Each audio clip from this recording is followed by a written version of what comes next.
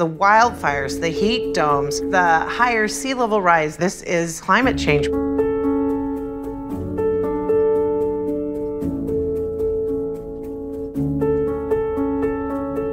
Hi, Amanda. How are you? Good. How are you doing? Uh, well, I heard you had some climate change questions, and since I'm a climate scientist and oceanographer, I thought, is there is there anything I could tell you? So, I had a situation where I had a colleague. He lives in California and he was affected by the Paradise fire. So, I've I've never really had any parts or or really I guess taken it kind of serious the the climate change and this extreme weather. But when that situation happened to him, it kind of was eye-opening. It was, you know, we had to go through things you actually felt really sorry for him and his family. He lost his entire house. Yep, more and more of us are, are taking our disaster preparedness, whether it's floods, extreme heat. When you see all these different signs, the wildfires, the heat domes, the higher sea level rise, these are part of the same phenomena. This is climate change. I have so many questions about climate change, and I'm kind of embarrassed to say I don't think I know exactly what climate change is. Climate change is uh, basically the energy imbalance of the planet. We've made a pollution blanket with all the carbon dioxide that is the product of burning fossil fuels like coal for electricity. These form a carbon dioxide pollution blanket, which actually keeps the earth warmer and warmer. I don't know about you, but it is getting hot here in Arizona.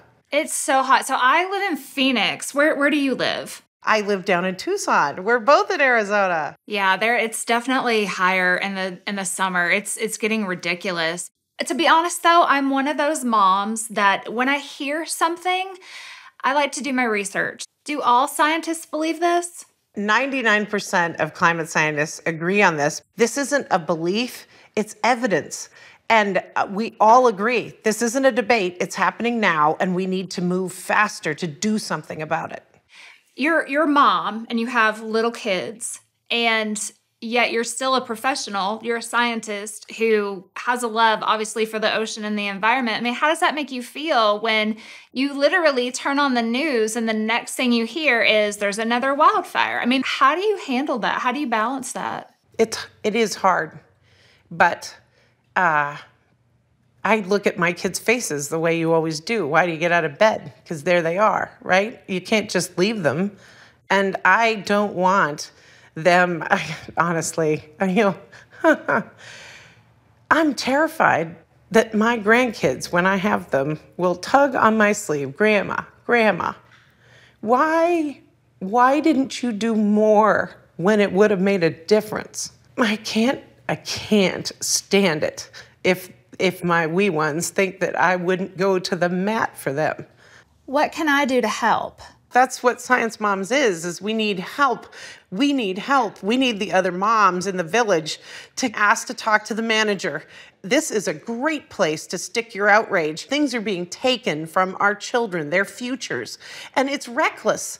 It's reckless. We know what this pollution blanket is doing. We we need to move faster. It's too we don't have enough time um, to just just wait around and hope that it all works. We're going to have to push. Call our leaders and ask them what they're doing to transition us to clean energy to cut the pollution. So I appreciate your time so much. It's so informative, but I really appreciate the fact that you made it so understandable. So thank you for for letting me ask my questions and I have a better understanding. I'm so glad. I'm so glad and go talk across that back fence. We can use all the help we can get. We really appreciate it. Have a great rest of your day. Thank you. Thank you. Okay, bye.